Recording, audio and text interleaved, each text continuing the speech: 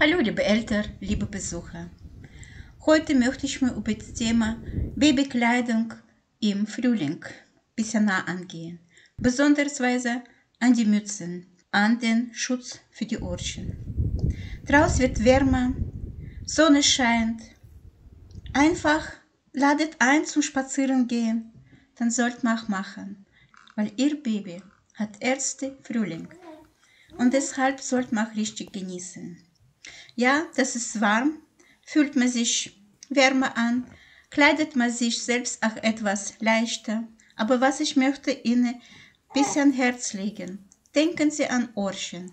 Die Mütze für Baby muss nicht so dick sein. Sie kann auch leicht sein, dünn, aber die soll einfach Schutz sein für Ohren.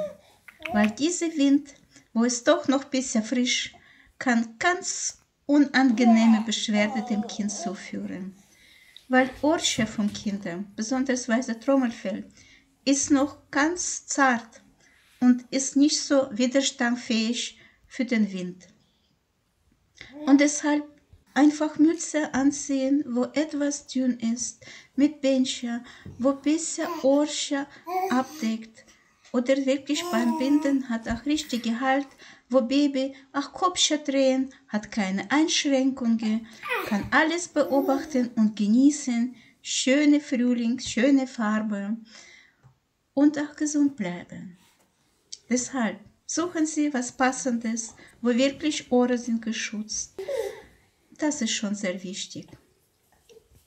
Und dann wünsche ich Ihnen und Ihrem Baby schöne Spaziergänge, schöne Frühling und an jeden Fall Gesundheit für Sie und für Ihren Kind. Alles Gute und bis zum nächsten Mal.